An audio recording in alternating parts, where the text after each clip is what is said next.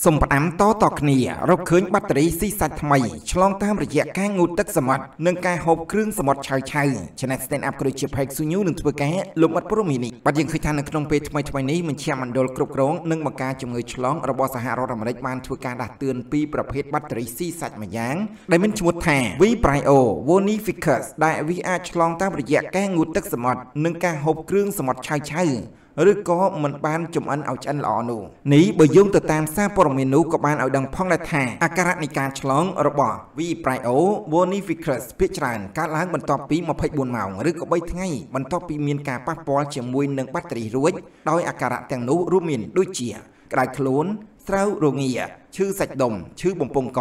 ឈឺពោះចង់ក្អួត និងមានអារម្មណ៍ថាមានស្នាមក្រហមឬក៏ហើមចំកន្លែងដែលប៉ះពាល់ជាមួយនឹងបាក់តេរីនោះដោយផ្ទាល់នោះស្របជាមួយគ្នានោះផងដែរបើសិនជាមានអាការៈធ្ងន់ធ្ងរខ្លាំងនឹងអាចធ្វើឲ្យស្បែករបស់យើងអាចទៅជាហើមរលួយនិងឆ្លងមេរោគនៅក្នុងឈាមរបស់យើងនិងអាចបង្កឲ្យបាត់បង់ជីវិតថែមទៀតផងដែរយ៉ាងណាមិញនៅក្នុងនោះបើសិនជា អ្នកមានជំងឺប្រចាំកាយដូចជាទឹកនោមផ្អែមក្រលៀនថ្លើមអាចនឹងមានភាគរយឆ្លងច្រើនណាស់ ហើយនឹងអាចមានអាការៈធ្ងន់ធ្ងរទៅធ្ងន់ធ្ងរទៅថែមទៀតផងដែរបាទនេះគឺជារឿងមួយដែលគួរឲ្យប្រុងប្រយ័ត្នមែនទែនសម្រាប់ការបរិភោគនៅគ្រឿងសមុទ្រឆៅបាទយើងឃើញហើយពេលបច្ចុប្បន្ននេះអ្នកខ្លះគឺចូលចិត្តណាស់គ្រឿងរបស់ឆៅនេះជាពិសេសនៅក្នុងប្រទេសថៃក៏មានច្រើនដែរបាទដែលកើតឡើងនេះគឺយើងឃើញមានសារព័ត៌មានថៃក៏បានធ្វើការចុះផ្សាយពីបញ្ហានេះផងដែរដែលបានកើតឡើងប៉ះពាល់ទៅដល់អាយុជីវិតទៅដល់អ្នកដែលចូលចិត្តនៅបរិភោគគ្រឿងសមុទ្រឆៅបែបនេះផងដែរដូច្នេះសូមបងប្អូនបង្កើនការប្រុងប្រយ័ត្នបាទគ្មានអ្វីដែលល្អក្រៅពីយើងចំអិនឲ្យឆ្អិនឲ្យល្អសម្រាប់មេរោគសម្រាប់បាក់តេរីមួយចំនួនដែលបង្កឲ្យជាជំងឺផ្សេងផ្សេងកើតឡើងនៅក្នុងរាងកាយរបស់យើងទេពេលខ្លះរាងកាយយើងអាចមានអង់ទីកក្នុងការទប់ស្កាត់ប៉ុន្តែបើសិនជាអ្នកខ្លះវិញគាត់អត់មានអង់ទីកនៅក្នុងការទប់ស្កាត់សុខភាពរបស់គាត់ខ្សោយឬគាត់គាត់មានជំងឺប្រចាំកាយទៀតនេះគឺជារឿងមួយដែលត្រូវតែប្រុងប្រយ័ត្នបំផុត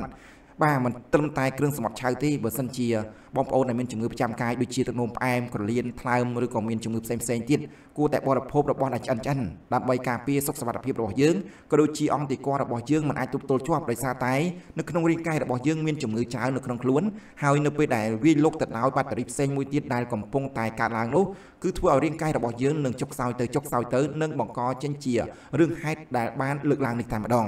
បាទដូច្នេះហើយសូមបងប្អូននៅការការប្រុងប្រយ័ត្នហើយថែសុខភាពបងប្អូនឲ្យបានល្អមែនទែនដោយសារតែយើងឃើញហើយឥឡូវនេះពេញនិយមណាស់សម្រាប់អ្នកដែលចូលចិត្តរបស់ឆៅពិសេសគឺគ្រឿងសមុទ្រឆៅនឹងតែម្ដងមិនថាប្រទេសយើងឬក៏ប្រទេសដទៃផ្សេងទៀតទេបាទគឺចូលចិត្តណាស់របស់ឆៅនេះដូច្នេះដើម្បីជៀសវាងឬក៏ជៀសផុតពីគ្រោះថ្នាក់ឬក៏កើតឡើងដោយបាក់តេរីឬក៏ជំងឺផ្សេងផ្សេងនៅក្នុងរាងកាយរបស់យើងយើងគួរតែចំអិនបាទចំអិនម្ហូបណាក៏ដោយគឺគួរតែចំអិនឲ្យឆ្អិនល្អ